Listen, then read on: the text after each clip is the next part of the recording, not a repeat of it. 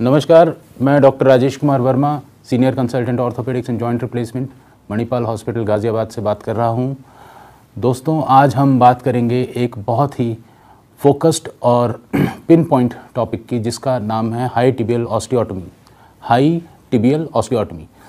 high मतलब ऊपर की तरफ़, टिबियल मतलब पैर की जो हड्डी होती है उसका नाम टिबिया होता है, ऑस्टियोटमी मतलब कि हम उसको काट के सीधा या टेढ़ा या छोटा या बड़ा किसी भी एंगल में हम ऑस्टियोटमी कर सकते हैं।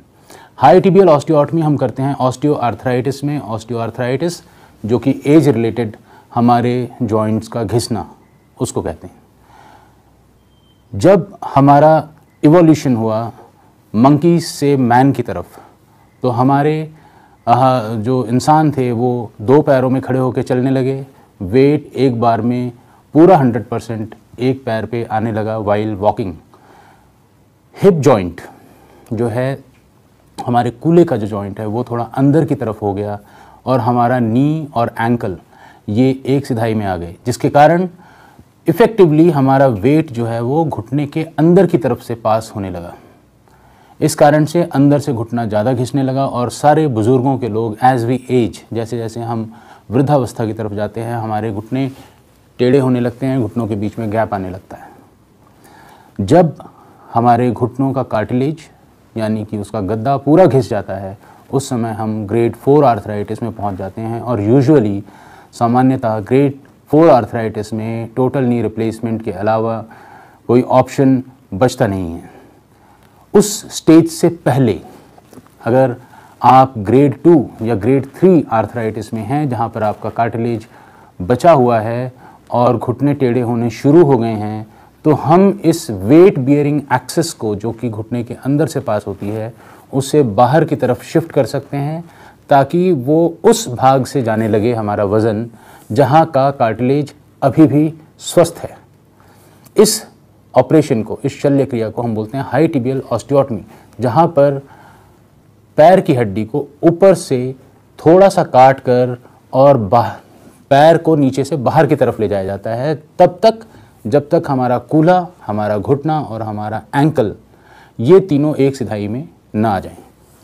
ये बहुत छोटा ऑपरेशन है magnitude of surgery is not as compare to total knee replacement उससे थोड़ी छोटे लेवल की सर्जरी आप इसे मान सकते हो। और इसके रिजल्ट्स बहुत प्रॉमिसिंग हैं। इसके बाद कुछ रिस्ट्रिक्शंस जो टोटली रिप्लेसमेंट के बाद होती हैं, जैसे कि हाई एक्टिविटी स्पोर्ट्स नहीं कर सकते, हम जंपिंग नहीं कर सकते, हम रनिंग नहीं कर सकते, हम,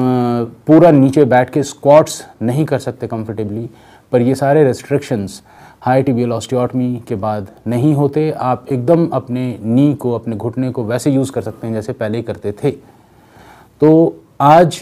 मैं इस पर्टिकुलर टॉपिक को ही डिस्कस करना चाहता था but will be talking more about more surgeries in coming months and weeks the aim with the aim of salvaging the joint अपने जोड़ को कैसे बचाना है नी रिप्लेसमेंट से पहले ही। इसके बारे में अगर कोई भी क्वेरीज़ हैं आप इसके बारे में ज़्यादा जानना चाहते हैं exactly exactly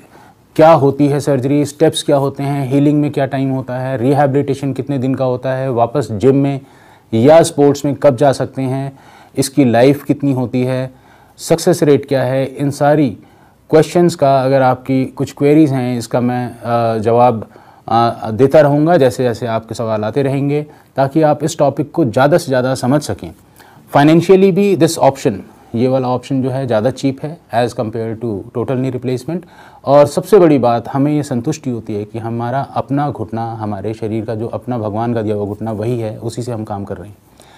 Prosthesis have many other complications also loosening हो जाती है टोटल नी रिप्लेसमेंट की प्रोसेस में प्रोसेस के साथ की बोन कच्ची होती है, वहाँ पर फ्रैक्चर के चांसेस ज़्यादा होते हैं पेरी प्रोस्थेटिक फ्रैक्चर्स देखे जाते हैं, पर हाई टिबियल ऑस्टियोटमी के हील होने के बाद आपका घुटना पहले की तरह ही उतना ही मज़बूत रहता है जितना पहले था। तो दोस्तों, इसी के साथ मैं आज आपसे आज्ञा लेना चाहूँगा। प्लीज़ मेरी रिक्वेस्ट है, आपके मन में कोई भी शंका है, संशय हैं क्वेश्चंस हैं क्वेरीज़ हैं, वो आप ज़रूर पोस्ट करिए। I will be very happy to answer them thank you very much